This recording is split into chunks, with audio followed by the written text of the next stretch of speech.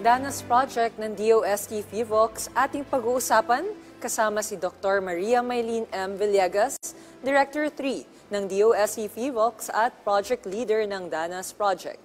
Dr. Villegas, magandang tanghali po at welcome sa Bagong Pilipinas ngayon. Magandang tanghali din po um, sa inyo. Uh, salamat po sa pag-imbita sa amin para sa programa niyo. Dr. Villegas, ano po ba itong DANAS Project at maaari po ba ninyong ipaliwanag kung ano ang kahalagahan ng proyektong ito? Ang DANAS Project po ay Earthquake Tsunami Volcano Disaster Narratives for an Experiential Knowledge-Based Science Communication. Kaya siya DANAS kasi Disaster Narratives. Sa Tagalog din, pwedeng yung ano yung naranasan natin, di po ba? Uh, pagdating sa pagkakaroon ng disaster.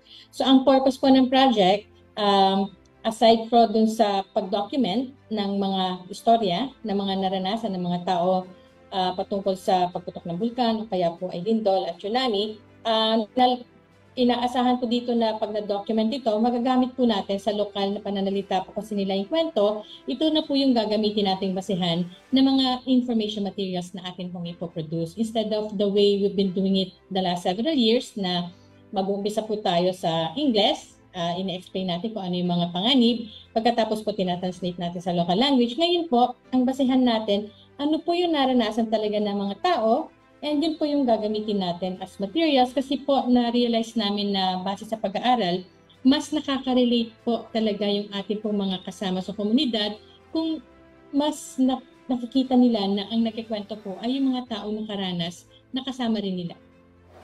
Mula po sa mga datos na makukuha mula sa proyektong DANAS, saan at paano po magagamit ng FIVOX ang mga ito?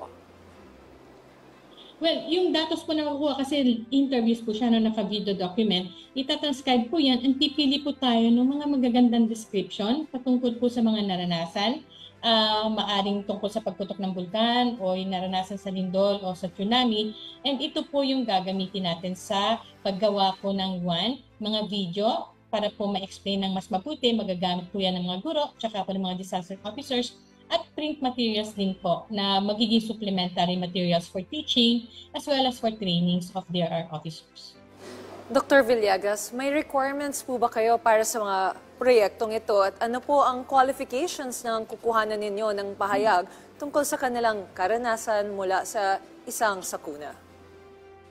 Well, sa pagpaplano po, ang ginawa namin yung una, mag-target po ng mga lugar kung saan po talagang may recorded tayo ng mga um, mas um, may impact na disaster. Pagkatapos po, pagdating po dun sa lugar, nakipag-coordinate tayo sa LGUs and mamimili po tayo ng mga um, participants po natin na talaga pong naranasan, direktang naranasan, ito pong mga pangyayaring ito para po mas ma-share nila yung experiences nila at doon po natin kukunin at bubuhin yung ating pong mga materials.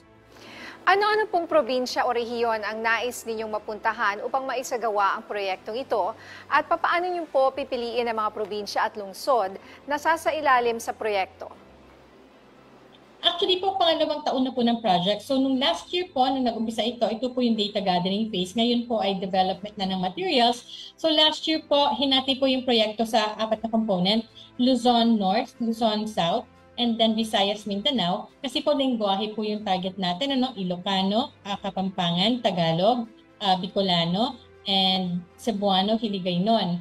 So, yun po yung ating basihan, yung mga lugar po kung saan may naranasan na mga uh, pagputok ng bulkan, lindol at tsunami na nakalokal na salita. So Ilocos, uh, Nueva Ecija, Batangas, and syempre po sa Bicol, uh, nakafocus po tayo sa um, Albay tsaka po Sorsogon kasi po yung Mayon at Bulusan, syempre sa Batangas yung Taal. Sa Lindol po syempre meron din sa Mindanao, kaya po meron tayong Hiligaynon at tsaka Cebuano, and ganun din po sa um, Visayas.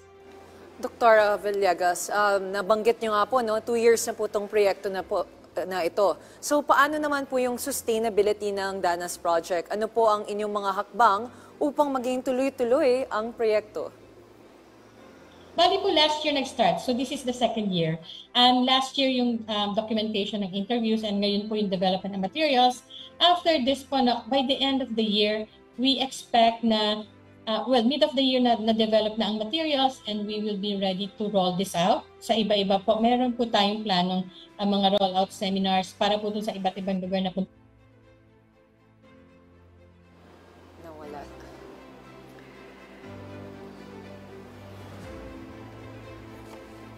Naputol po no uh, si ah, uh, Dr. Villegas. Um, nandiyan na po siya ulit, Dr. Villegas. Okay, wala na.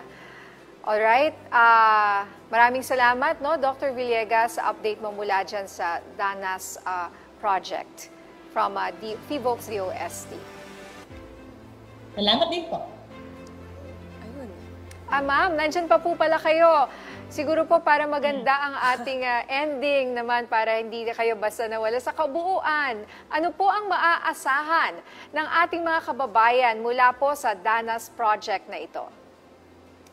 Well, maaasahan po natin na pagkatapos ng proyekto by the end of the year, meron po tayong anim na libro na may lengguwahe po na nakatutok sa Ilocano, Kapampangan, Bicolano, uh, Cebuano, Hiligaynon, and Tagalog na meron pong mga storya na masishare po patungkol sa mga karanasan nila sa pagputok ng bulkan, tsunami at lindol na makakatulong po sa ah, pagkataas po ng awareness and preparedness, ah, lalo na po sa pagtuturo sa mga, ng mga guro and sa ating po mga disaster ah, risk reduction officers.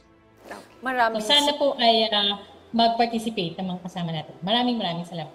maraming salamat din po sa inyo. Sa inyong oras, Dr. Maria Maylene M. Villegas, Director 3 ng DOST FIVOX at Project Leader ng Danas Project. And good luck, ma'am.